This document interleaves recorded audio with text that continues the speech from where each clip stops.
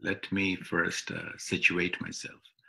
I taught architectural history at a number of institutions in the US for over 20 years. And now I teach or organize the teaching of history, among other things, with a rather unique institute, the Bengal Institute for Architecture, Landscapes, and Settlements in Dhaka.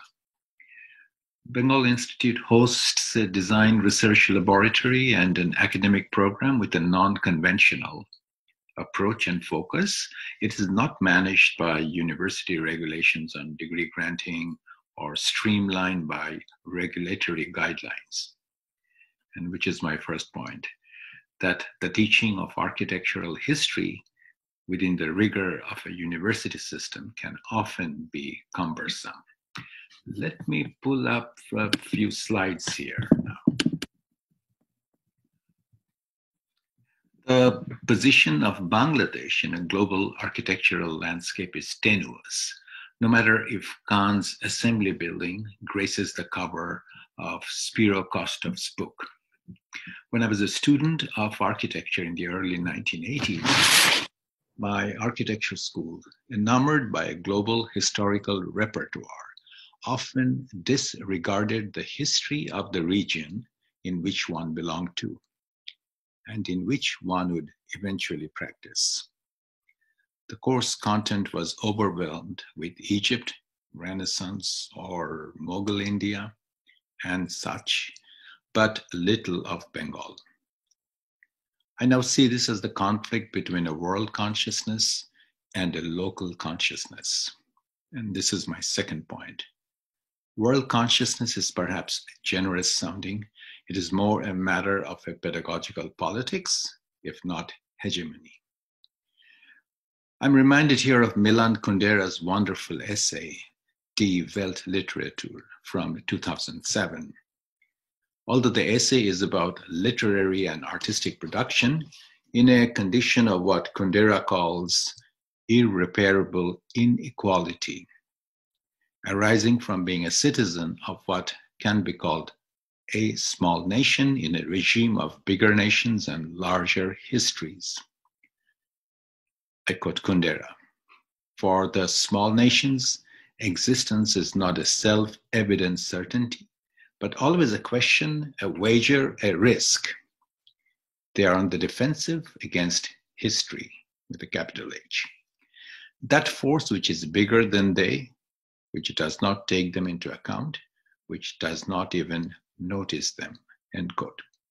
In such a context, Kundera wonders how to locate a work of art in the history of its nation, which he called the small context, or the supranational history of its art, the larger context.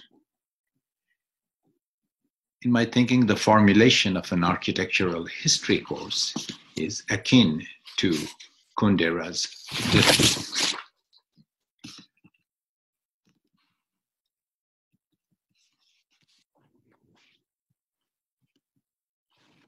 In uh, dealing with the architectural history of Bengal or Bangladesh, I had to deal with a number of issues in addition to the Kunderian precarity with history. There is also the question of the small scale. In comparison to the mm-hmm. historical regional production of architecture, whether Mughal India or South India, the so called monumental architecture of Bengal is of a moderate nature, which led the historian of Islamic art and architecture, Oleg Grabar, to comment that compared to other regions in the Islamic world, architecture in Bengal belongs to a smaller class. He saw it as an area, quote, clearly circumscribed in time and in space, end quote, from the Islamic epicenters. I would like to give a longer quote by Grabar because, in a preface to a book on the history of mosques in Bengal, Grabar writes 50 years ago or more, that is around the 1930s, very broad geographical categories, the Muslim West, Iran, the Indian subcontinent, were sufficient to categorize and classify a monument of Islamic art. Today, we cultivate dozens of separate traditions, at times reasonable geographical or historical entities. and at other times simply reflections of contemporary political divisions. The advantage of seeking to define such smaller units are obvious, end quote. So at the same time, Grabar is concerned. He says, the disadvantage is that the forest is no longer visible, only the trees.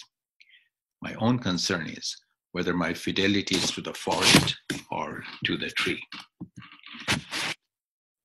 Considering Bangladesh, there is also the fractured geographies of nationalist ideology. When India was partitioned in 1947, creating West and East Pakistan, the latter became Bangladesh, an arbitrary border cut through what was more or less the contiguous political and cultural entity of Bengal. This deeply impacts the telling of architectural history what was ironic in the political border, what was, what was ironic is that the political border ran through the very middle of Gaur I'm showing here, an ancient capital of Bengal with a rich array of architectural monuments from the 14th century onwards, and even some older. A large group of monuments went to West Bengal in India and others to Bangladesh. And you can see here the border cuts right through the middle of the city. How then to narrate the architectural history of Bangladesh in this condition of fractured nations and divided ideologies? When I taught at the University of Hawaii from 2000 to 2014, I faced the dilemma of the small nation and the small scale in a similarly different form. In Hawaii, conversations on culture began and with how it is always in a fraught political relationship with the US mainland and the faraway land of European classics, shades of Kundera. In teaching designated courses on history in Hawaii, I also faced the dilemma of standardization and deviation in a more explicit and particular manner. At that time, my own historical cons- concerns got left out. It was far more urgent to engage in the histories of the Pacific and Hawaiian islands. I would say in the process of engaging with Pacific histories, I learned a lot and I found a kinship between the distant Bengal and Hawaii. Uh, I've written about this particular image, Bangala Ragini, in the 1980s in the context of investigating an architectural paradigm of the Bengal Delta. I called it then the pavilion model what seemed a simple freestanding structure, even if used by a yogi, as you can see here, turns out to be an ecological and landscape model. This is an example how the singularity of an architecture is not possible. It develops in mutuality with the larger ecology. So in advance, let me say, and this is my final point, that architectural history is landscape history. I'm now currently working on a uh, collaborative project on the history of the Padma River. The Ganges is known as the Padma as it enters the plains of Bengal to create the Bengal Delta and then head for the seas, as you can see the diagonal line cutting through the uh, map.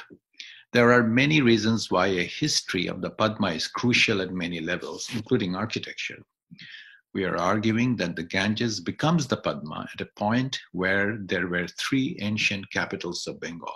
I already mentioned Gaur. Gaur was originally on the banks of the Ganges Padma. The Padma then heads southwest towards the estuary, where we have another ancient capital at Bikrampur. This is an historically crucial settlement. The Buddhist sage Atish Dipankar was born here and traveled by ship to Sumatra from there and was perhaps critical in the transmission of Buddhist teaching and culture to Southeast Asia, including architecture. In his travels in India in the 14th century, Ibn Battuta visited here and took a Chinese ship from, from here to, to travel towards East Asia. Short story Bengal was deeply connected to a transoceanic trade network that connected China with India, the Middle East, and East Africa. There's this famous example the Chinese mission of Zheng He in the 14th century, when they arrived in the Bengal capital, they witnessed a giraffe that was gifted to the Sultan of to the Sultan of Bengal from the ruler of Malindi in East Africa. Seeing the admiration of the Chinese team, the Sultan gifted the giraffe to the Emperor of China, which then becomes an iconic image in the history of art. Between Gaur and Bikrampur is the history of Bengal and a deeper connection to East Asia. This is especially crucial in the context of Bengal, but this is totally missing in the formal architectural history courses. Anyone teaching the history of Cambodia, Java, or Myanmar, this is an extremely important link. This is what we'll be teaching at Bengal Institute in our next round history of architecture and history of landscapes and regions. I'm more interested in how the two are implicated. And this reminds me of what Kenneth Frampton argued in the talk, uh, in his talk at the UIA conference in Beijing in 1999, that the architectural curricula be developed to include three important subsets, the history of landscape, technology, and industrial design. Thank you.